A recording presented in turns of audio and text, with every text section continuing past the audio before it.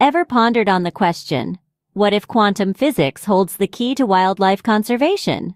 Today, we dive into the world of the McGinty equation, a beacon in the quantum realm that might just be the answer we're seeking. At its core, the McGinty equation is a blend of free quantum field theory and fractal mechanics, represented as psxt equals sine piece q phi xt plus piece fractal xt d m qs.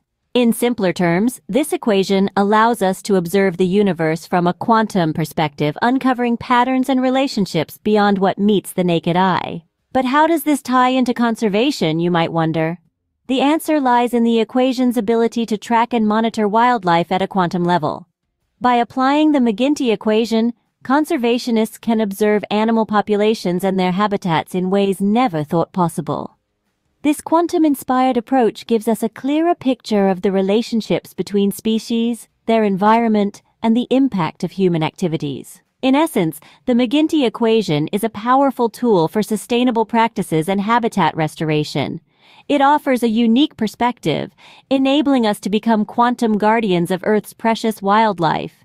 In a world where every bit counts towards preserving our planet, the McGinty equation serves as a reminder that even in the quantum realm, we can find solutions to our most pressing global issues.